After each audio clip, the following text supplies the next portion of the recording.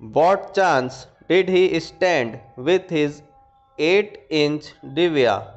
Didn't professional astronomers have gigantic telescopes? Dattada was optimistic. He knew that the professionals with their pre assigned programs would be looking at faint stars and nebulous galaxies. They might miss such an insignificant thing as a comet which they were not expecting to see anyway. Indeed, amateurs had often discovered new comets which the professionals had missed, and it looked to Dattada that tonight was going to be the big night, for against the background of the same old stars, Dattada had detected a faint stranger.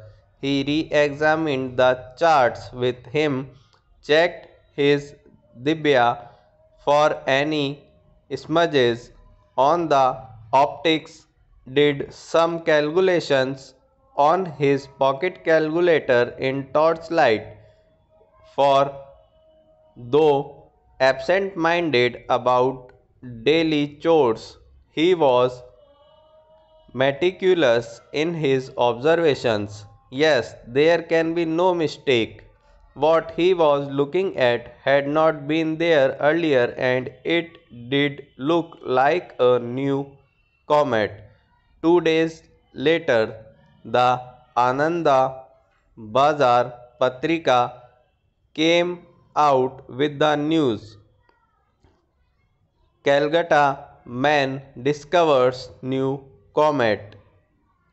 Sri Manoj Datta, a resident on the northern outskirts of Calcutta, has claimed to have discovered a new comet. He has seen the comet on the last two nights and has informed the Indian Institute of Astrophysics at Bangalore of its whereabouts.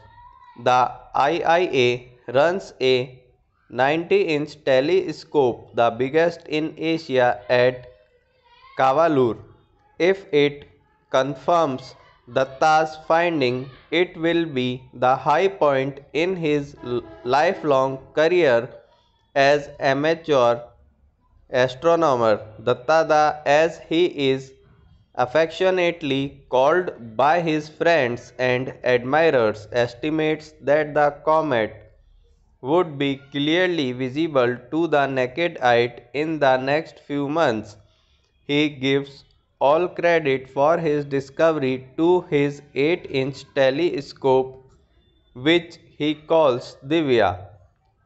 Thereafter, it took just one week for Comet Datta to be recognized and so named. For the IIA confirmed the findings and communicated it worldwide and according to the accepted practice the new comet was named after its discoverer. This brought in unwelcome publicity to the introvert Dattada.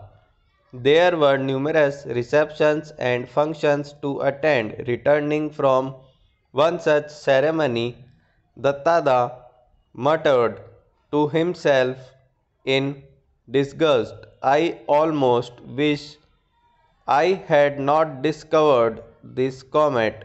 To his surprise, Indrani Devi agreed. I wish the same, though not for the same reason. May I ask why you wish I had not discovered this comet? Dattada asked. Comets bring ill luck and I wish a good man like you were not associated with the discovery of one. Indrani Devi said with concern. Dattada laughed. I see that even an MA degree has not cured you of your superstitious.